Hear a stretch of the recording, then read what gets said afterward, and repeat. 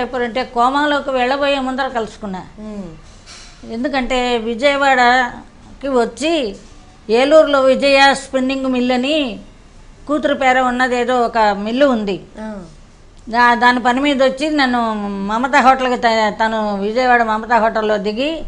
నన్ను కబురు పెట్టింది నాకు ఇప్పుడు నేను చాలా సంతోషిస్తున్నాను నేను నిన్ను చూసి.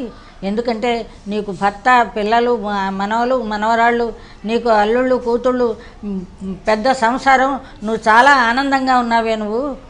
మరి నాకు ఇదేం లేదు కదా పండగలు పబ్బాలు. నువ్వు మీ ఆయనతో ఎక్కడికి వెళ్ళాలంటే అక్కడికి వెళ్ళావు. ఏది తినాలంటే తినావు. ఏది కట్టుకోవాలంటే అది కట్టుకున్నావు.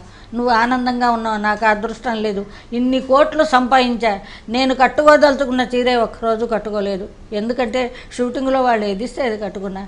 ఒక గోంగూర పచ్చడి తినాలని ఉందనుకో నాకు ఎవరిస్తారు అప్పుడు? షూటింగ్లో ఏం పెడితే తింటమే. తినాలనుకున్నది తినలేకపోయినా కట్టుకోవాలనుకున్నది కట్టుకోలేకపోయినా భర్తతో ఆనందంగా ఉండలేకపోయినా ఆయన నన్ను కలుసుకోలేదు నేను ఆయన్ని కలుసుకోలేదు మా ఇద్దరికి ఎడబాటు అయిపోయింది. నా జీవితం వ్యర్థమైపోయింది. నువ్వే బాగున్నావే. నాకు చాలా సంతోషం. నా ఇది పాడైపోయినా కానీ నువ్వే బాగున్నావే అంది. సరే ఒకళ్ళనొకళ్ళు కాసేపు కావాలనుకున్నాం సరే మళ్ళీ వెళ్ళొస్తానే అంది. ఆ తర్వాత కోమాలోకి వెళ్ళిపోయింది. ఆ తర్వాత నేను దాన్ని కలవలేదు. ఎందుకంటే నేను ఎక్కడికి వెళ్ళాను అనుకోండి నేనెవరో వాళ్ళకి తెలియదు వాళ్ళు నన్ను లోపలికి రానివ్వరు వాళ్ళతో మాట్లాడినవరు నువ్వెవరమ్మా అంటారు. మనకు తెలిసిన వాళ్ళు అక్కడ ఎవరు లేరు. అది నారో మాట్లాడదు నేను దాన్ని చూస్తున్నా ఉపయోగం లేదు. అంచేత నిరాశపడి దాని స్థితి విని విని బాధపడుతూ ఉండటం తప్ప ఏమీ చేయలేకపోయినా చివరిసారిగా ఆఖరిసారిగా ఆ మమతా హోటల్లో కలుసుకోవటమే కలు